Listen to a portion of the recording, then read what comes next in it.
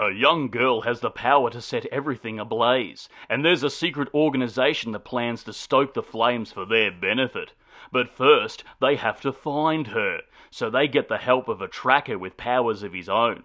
This is the origin story of Weapon X Extinguisher Needed. So pull out the marshmallows for X-Men Origins Fire Fist. Hello there, you loose units, and welcome back to another episode of Spicy Boy Reviews. I'm, of course, your host, Andrew Iles. Yes, that's right, we have another remake from Hollywood on our hands. Uh, this is adapted from a book by Coke fanatic Stephen King, and also a remake of the 1984 film Firestarter. This version is directed by Keith Thomas, who had a little bit of indie buzz with a little indie horror called The Vigil, and of course, Blumhouse decided to throw him under the bus with a remake of a Stephen King cult classic. It's a tale as old as time. Telekinesis, a boy falls in love with a telekinesis girl in a laboratory while they're both being tested on by a shady organization. They fall in love, and of course, there's some superhero serum fuckery being injected here, and boom, they have a kid together, which is totally normal. Until that kid gets anxious, angry, or upset. And then she sets shit on fire. That's right, the little offspring here is a level 5 mutant named Charlie, who is a fire starter. They, of course, live off the grid in hiding, if you will, so the evil organization DSI, as they're called, can't find them. Charlie's dad here is played by Sex on Legs Zac Efron, uh, who's constantly convincing Charlie to push her powers down and suppress them deep within, which can only go well.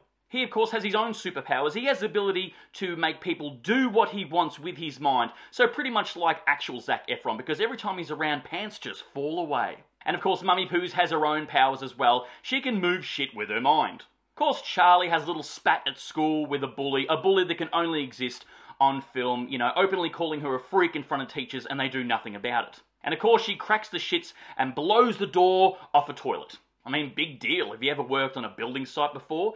Those blokes blow the door off toilets all the time after a night of all you can eat Mexican. And of course, this gets the attention of the evil organization DSI, who is ran by, you guessed it, an evil, power hungry boss bitch who took over the company for her own power hungry ways. Whoops, no, not that one. I mean this one. But not to get her hands dirty, she employs an ex inmate of DSI to track them and hunt them down. And he has powers of his own. He can read minds, I think. Hmm. A Native American actor playing a tracker here. A little on the nose, don't you think? The movie then becomes a road movie, and they travel to one location. And that's it.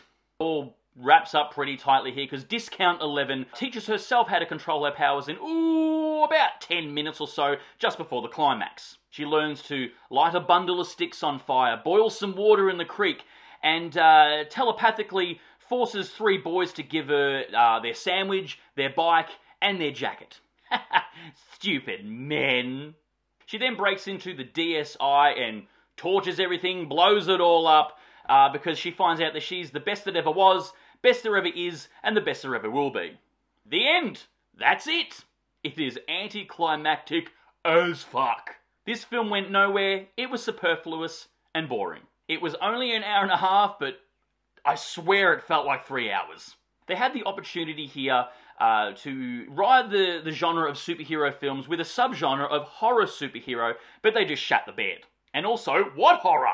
It was minuscule at best. We see some burn scars, I guess, but every time there was an opportunity to see some full on horror, the camera just cut away. The film was really bland and boring and came across as like a shitty remake from the mid 2000s. It also had that drained colour look that all Blumhouse films seem to have. If I was an optimist, I say that they were all based in the same universe. Who knows, we might get some crossover movies uh, in this universe, the Blumverse, if you will. The only good thing I can say about the film was Kurtwood Smith was in it. That's right, from Robocop and that 70s show fame. It was just good to see him, and it just reminded me of how much I miss seeing him in films. The marketing for this film was non existent. I didn't really see any of it, and everyone I talked to had no idea this film was coming out. And now I know why. I think Blumhouse wanted to bury this film, honestly. It's almost like they wanted it to go down in flames and then piss on the ashes.